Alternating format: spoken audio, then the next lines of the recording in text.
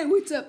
And today we're gonna do puns and funs with the piggy, of course, and the chickie, and maybe um maybe the poop. I'm not sure, and the dog.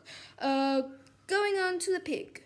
Hey, why do tulips smooch a lot? Do you get the joke? Cause two lips. Ha! It's very funny. Onto the panda.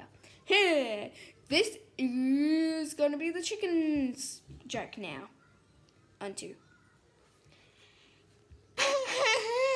Get that joke, but the pig sound so funny. But let's continue. Why did the chicken cross the road to get to the other side? That was our short break, but we're moving on next time.